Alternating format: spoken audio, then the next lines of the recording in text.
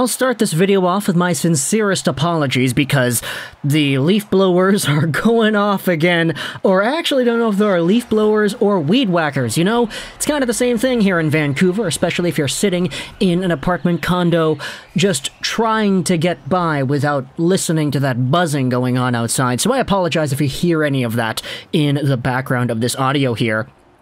But as I am home, as I am back here in Vancouver, I wanted to go over some of the updates of stuff I didn't get to talk about when I ended up going out on my trip.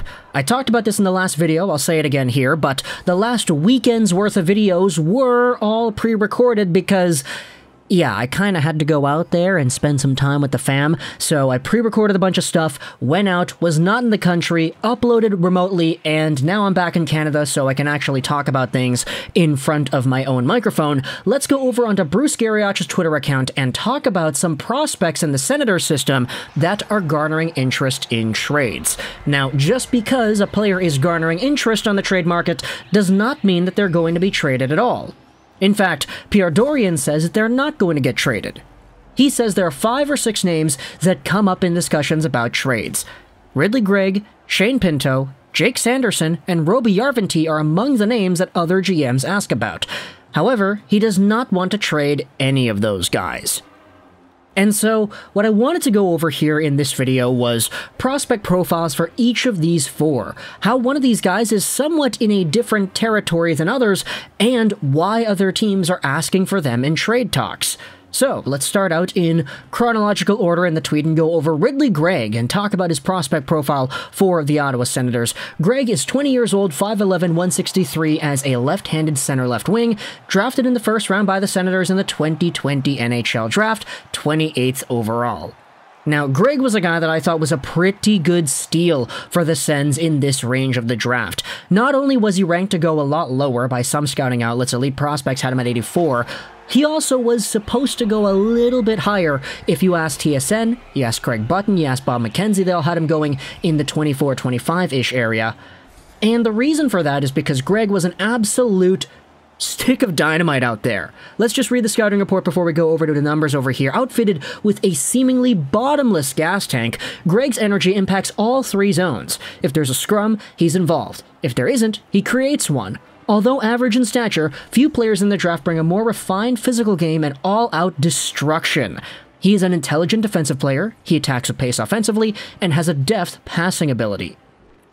Ridley Greig is just an absolute stick of dynamite that is not afraid to go out there and cause havoc. He had 60 points in 56 games played with the Wheat Kings when he had gotten drafted, and this recent season he upped that up to 63 points in only 39 games. 26 goals, 37 assists, 92 penalty minutes in 39 games as well. He's an absolute agitator out there on the ice.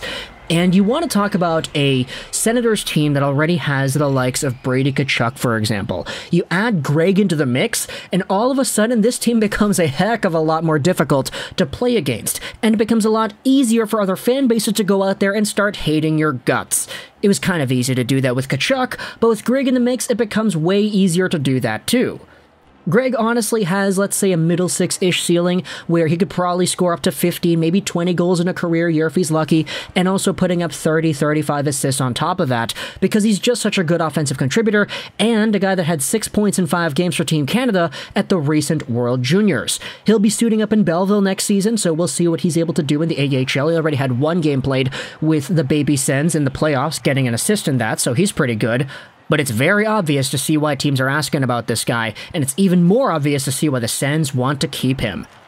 Going over onto the next name that the Sens are asked about in trade talks, it's Shane Pinto. Now, we've talked about Pinto quite a few times in these videos, but let's go over him once more for the fact. He's 21 years old, 6'2, 192 as a right handed center, signed till the end of 2023 on his entry level deal. He was drafted back in the second round in the 2019 draft as a pick that a lot of people were somewhat concerned about.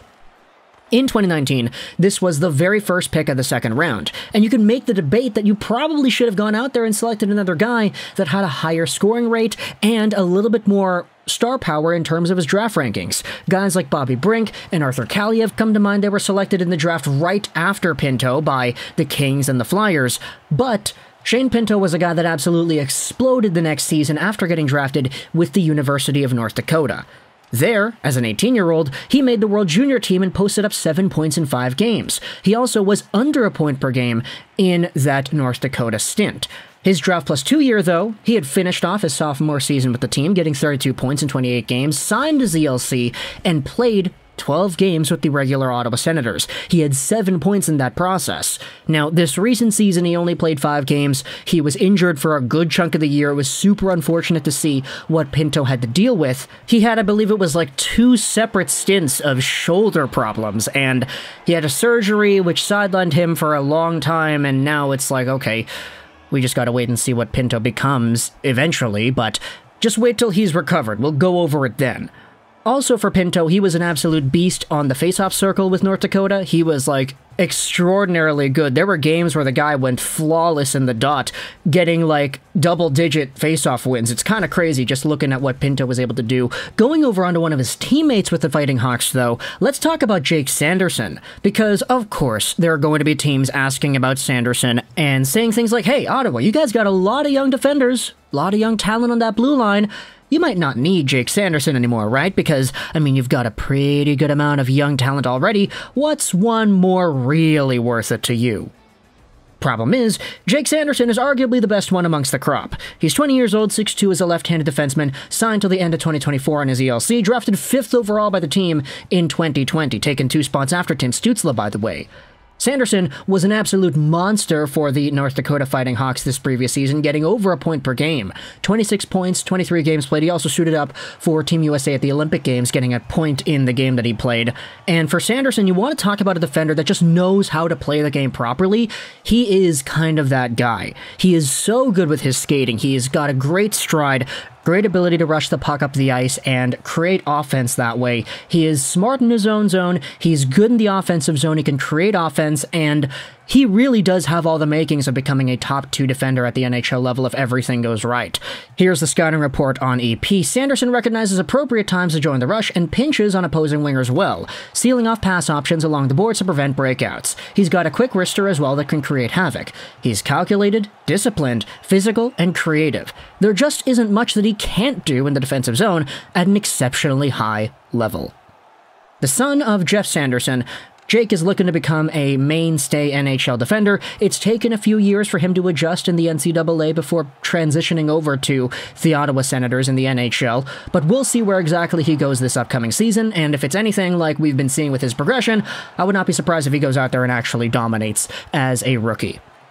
Going over onto the final name, though, Roby is a really interesting name to be included with the bunch that we had already seen. In fact, there are some Twitter replies to this initial tweet by Garrioch saying, yeah, no, it's kind of interesting to hear Järventie's name mentioned with that top tier of prospect talent. I believe that's the first time we've heard that from the organization, a Cass4 says.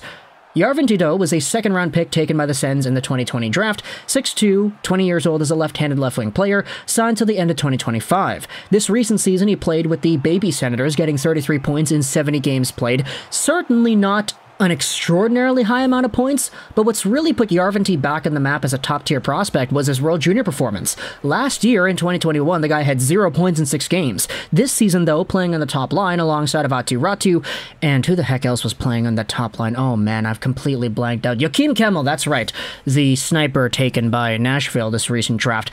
Järventie had nine points in seven games played. He was super good, and he definitely showed off very well. We're all looking forward to having a better season out of Järventie with Belleville next season comparative to what he accomplished this previous season.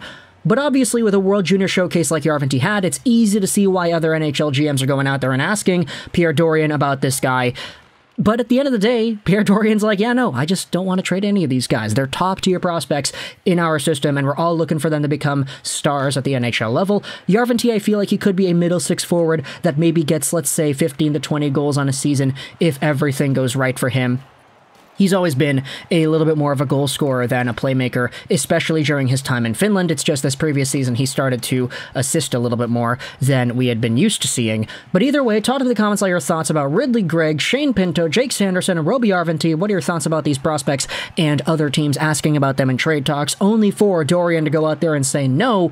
If you're a Sens fan, how do you feel about these guys? What do you think they're going to become for your team in the future? And how happy are you that Dorion is saying yes to these names? Let me know your thoughts. I hope you enjoyed this video. 99. And Bye.